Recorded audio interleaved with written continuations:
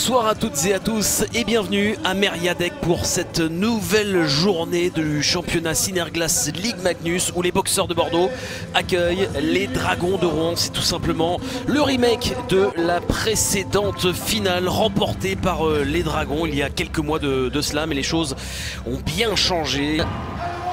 Allez, c'est parti avec un premier engagement remporté par les Rouennais et par euh, Perron. C'est ça a pas été fini touché par Setanen qui n'a pas pu capter ce, ce palais. La feinte de Prissin, attention, ça peut aller très très vite. De l'autre côté, Perret, attention avec Oh. euh, la feinte, le tir oh, qui est manqué finalement. Quelle énorme occasion là pour Ouais, ouais. euh, Vincent Nézin et les Dragons de, de Rouen. Début de match, il nous fait un petit peu penser euh, au final de la saison dernière, mais dans l'autre sens, avec euh, une grosse pression des, des Bordelais et euh, finalement les Rouennais qui viennent jouer oui. le, le coup en contre et qui peuvent être saillants. Là, on était vraiment pas loin de l'ouverture du score. Heureusement pour les Rouennais, il n'y avait pas grand monde devant la cage. Setanen a fait l'arrêt. Oh, attention, ce palais qui arrive jusqu'à Guéguéris, qui cherche la lucarne. Oui. Ouh, ce palais qui vient frôler justement le cadre, hein, le. Il y, y a des- il y a des possibilités là. Le palais qui est indécis, qui est finalement dégagé, mais il y a eu des possibilités là pour les boxeurs. Vraiment à la recherche d'un match référence contre un des gros du championnat. Et ce match euh, face à une des. Et c'est toujours les Dragons qui ont le. Ouais, la- avec euh, Anthony Rec, euh, la Oh, petite passe là pour Otomila, le tir qui a été euh, Oui, contré, c'est voilà. pas terminé. Perron, Perron pas- toujours en contrôle du palais, il y a un joueur des boxeurs de Bordeaux qui euh, lui a perdu sa crosse. Mais palais oui. qui revient jusqu'à Chakashvili, le tir qui a été euh, cette contré hein, finalement. cette crosse qui a été perdue euh, dès le départ de l'action et effectivement euh, euh, on la voit là-bas. euh, et là il y a eu contact Ouais, hein, avec eu euh, contact. Papillon. Et donc effectivement, on, jouait euh, quasiment un 4 contre 5, hein, puisqu'il y a un défenseur qui n'avait plus sa crosse, c'était Spinozzi. Ouais, les boxeurs qui reprennent un peu le contrôle du palais. Après cette infériorité numérique, ils ont euh, brillamment, et ça part dans le sens qu'ils ont pris euh, contré.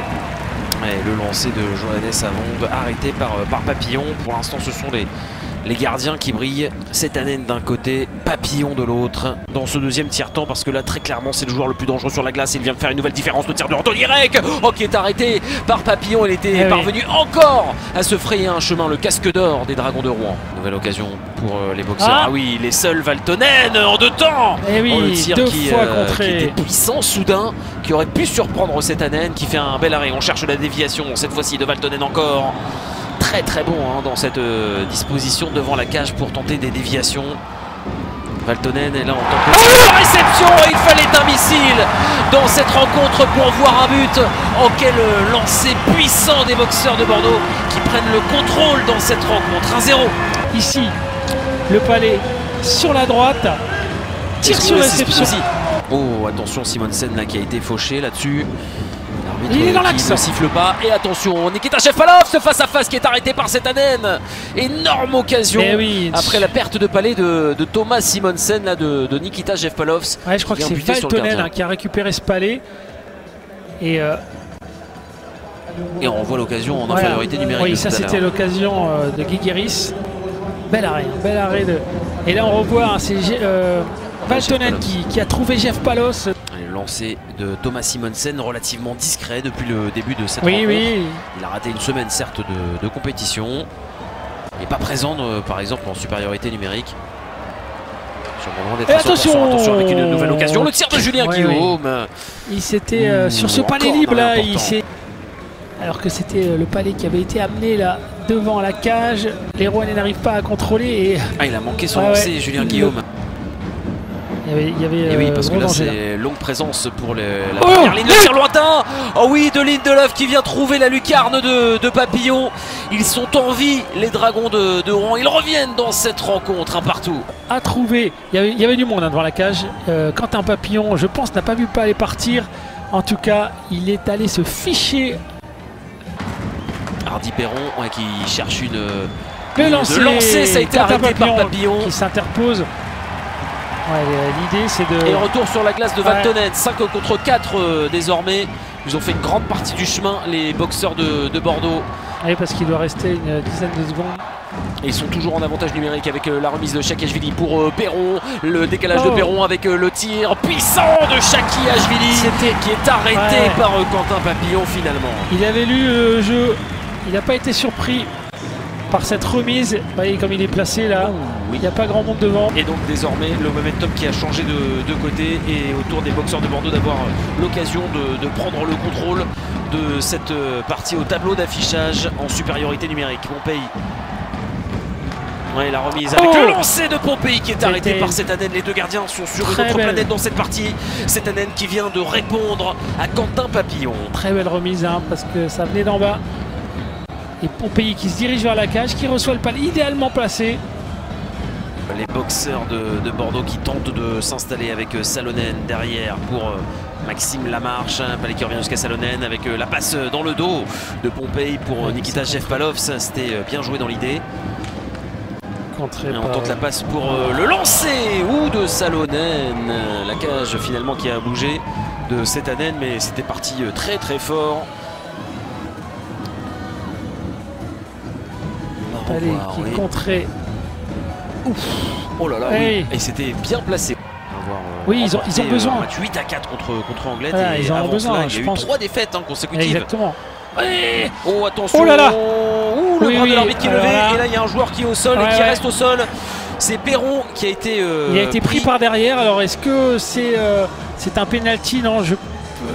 Ouais, c'est possible. Oh là là, coup de oh là énorme. En plus, coup en de plus, énorme de, de en vélo. C'est au niveau du visage. Hein, donc, je sais pas qu'est-ce qui va être appelé. Je crois oui que c'est Aina Rambello, oui c'est bien lui. Il semble qu'on peut pas appeler un penalty parce que euh, il a essayé de couper, couper une bûche. Oui, puis c'était pas le dernier défenseur. Il me semble qu'il y avait un défenseur qui était euh, sur le côté droit. Ça m'étonnerait qu'on siffle en pénalty, en tout cas, il va y avoir supériorité numérique. oui, ça c'est sûr. Et s'ils ne parviennent pas à marquer en supériorité numérique d'ici la fin de, cette troisième période, eh bien ce sera en prolongation. Hein. Et grosse ambiance à Meriadec pour le début donc de cette prolongation à 4 contre 3. Donc pour les Dragons de Rouen pour un peu plus d'une minute de jeu. Dernière occasion d'un côté ou de l'autre.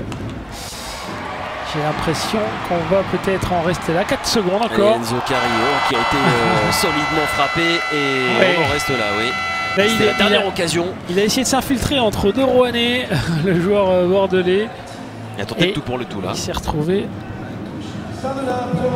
On va assister donc à une série de tirs au but, 5 euh, tirs au but. C'est Rouen qui commence. Et c'est Allez, l'occasion pour Bengtson, Sébastien Bengtson euh, qui euh, feinte, oh, qui tire, oh, c'est magnifique, c'est juste au-dessus de la botte pour venir faire une première différence dans cette séance de tir au but. Alors, Kari. Enzo Kari qui euh, s'élance pour tenter de faire la différence face à Setanen. Enzo Kari, la feinte, le tir, oh, c'est arrêté par le gardien des Dragons de Rouen. c'est Dmitriou. Trio. Deuxième tentative des Rouennais. Ouais, face à Papillon. Le tir oh, qui est arrêté. C'est pas joué à grand chose. Hein. Il buteur dans cette rencontre. Lui qui a un lancé. Oh là là, oui, la feinte, le tir derrière, c'est manqué de la part de Kevin Spinozzi. Cette équipe euh, des Dragons de, Rouen. Oh, oh, attention, il a manqué sa feinte oh. derrière, euh, il vient percuter directement. C'était Perron, hein Ouais, on a l'impression que. Oui.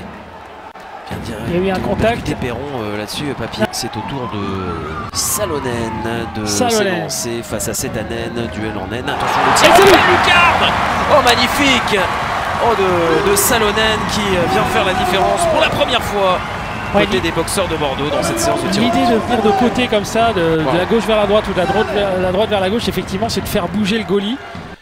Et pour essayer de trouver euh, l'ouverture. Et donc ça fait un partout après euh, trois tirs de, part et d'autre. La feinte euh, de Simonsen manquée. il a essayé plusieurs choses là. Il a fait un petit pas de danse. Hop là, Oui, une de ses spéciales. Hein. Occasion pour les boxeurs de passer devant pour la première fois de cette séance de tir au but. Le tir qui vient tromper cette Anen. Ils prennent l'avantage, Guégueris. On arrive au dernier penalty là, si Rouen, si Rouen rate, ne marque pas, c'est fini. Oui si Rouen rate. Alors, qui va se présenter C'est terminé. Ce serait assez cruel hein, pour Rouen qui avait bien commencé. C'est Anthony Rec. Anthony Rec. La crème de la crème. Face à Papillon, Anthony Rec, Passion, la oh, oh là là, quel sang-froid de la part du casque d'or, Anthony Rec. Ah puisque c'est Rouen qui avait commencé.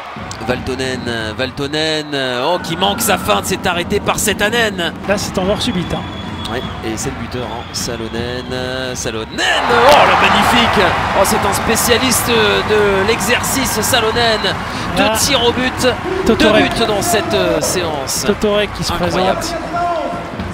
Les deux Oh buteurs. là là oui de Anthony Rek dans cette séance de tir au but passionnante Anthony Rek face à Papillon Anthony Rek qui reste patient et encore Oh qui vient trouver le chemin des filets Et là, euh, à ce moment-là, on peut mettre qui on veut. hein. On peut donc ça encore. peut y avoir encore ce duel exactement, Salonen-Rek exactement, exactement, ce qui ne m'étonnerait pas d'ailleurs. C'est Guégueris, non? Oui, c'est Guégueris euh, qui s'élance. La première feinte de Guégueris. Euh, le tir qui est arrêté finalement par euh, Setanen.